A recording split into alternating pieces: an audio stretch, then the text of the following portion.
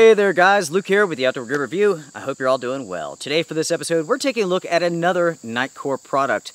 We recently took a look at the MH12. We now have the EA11. This is an awesome little light. I've really grown to love this thing. Let's just go ahead and take a look at the boxing and we'll get further into the review. So folks, here is the box for the EA11. This is 900 lumens in an incredibly small package. This is just a great little flashlight. I've really enjoyed using it over the last couple of months. 900 lumens, 190 meters thrown, very impressive. All these other little details. Let's go ahead and open it up now. So you get the instruction booklet, you get the warranty card, you get this little awesome flashlight. Dual LED, it's really, really cool. Let me just go ahead and show that to you. That is a red LED right there. You get a lanyard, you get a pocket clip, some additional rings, and so on. Very good. You also get this small little holster, which does a good job of holding the flashlight. As you can see right there. Perfect.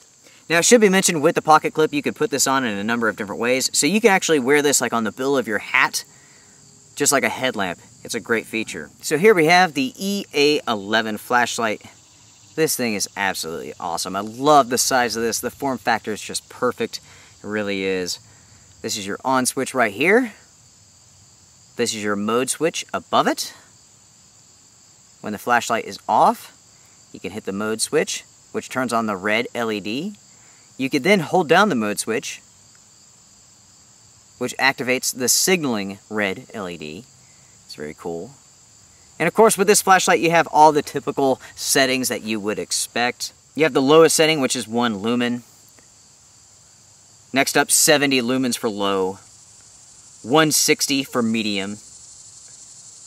300 for high. And then you have 900 for turbo. You also have strobe, SOS, and the locator.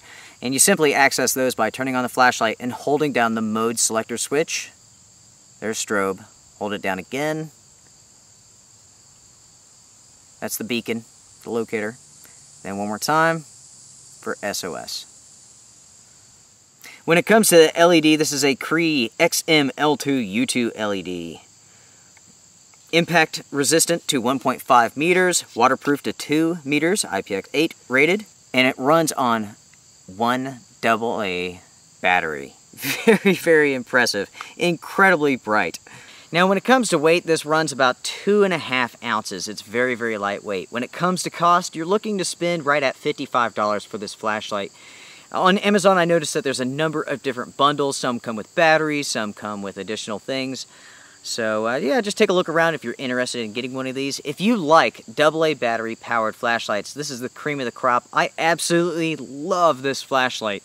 I've been carrying this with me just all the time. The battery life really is terrific at 900 lumens or, or, turbo mode. This runs for about 25 minutes for me. I mean, it really does a good job. On high right here, I get about 45 minutes, which is pretty respectable for a AA battery flashlight. Now, speaking about performance, we have some nighttime footage. We'll get to that right now. So my friends, here we are with the Nitecore EA11 doing some nighttime performance tests. And I have to say, I really do like this flashlight. It's got some really cool features. So you can barely see right there, that's the lowest setting. And we'll just go on up to the next one.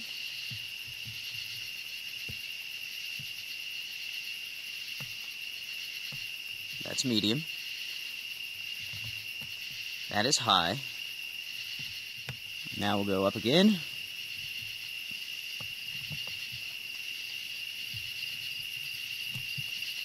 Trail camera. so you have low, medium, high, turbo, or burst. So one of the cool features about this flashlight is that it has two LEDs. It has this one right here, the regular light, but it also has a red LED built right into it, right next to the other LED, and it works really, really well. This is non-adjustable. This is the, the one brightness that it has. it does have a strobe mode.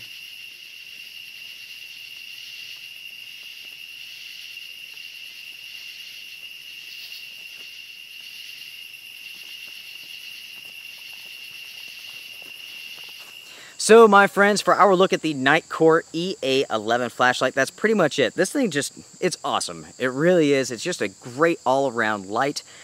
Now, I have to be honest and say that I would prefer to have this flashlight with an 18650 battery. For me, that would take this thing to the next level. It might just be one of the best flashlights ever. But with a AA battery, you're getting excellent performance, good battery life, good power. Man, it's just a nice flashlight. Feels great. The fit and finish is terrific. And I'm sure you guys want to see me throw this thing as hard, hard and as high as I can. So we might as well do that right now just to show off the durability of this flashlight. So let's let's aim for over this way. All I got to do is go find it after I throw it, right? Hopefully it doesn't go in the woods.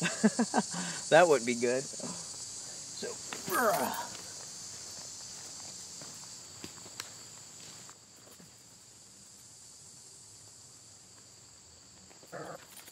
So what do you know, my friends? What do you know? This flashlight just keeps on ticking. It's incredibly strong definitely scuffed up. I'm not sure if you guys saw that or not, but it went straight up in the air, it landed right next to those rocks over there, and then bounced right into it, and it switched modes. It went to the red mode. So,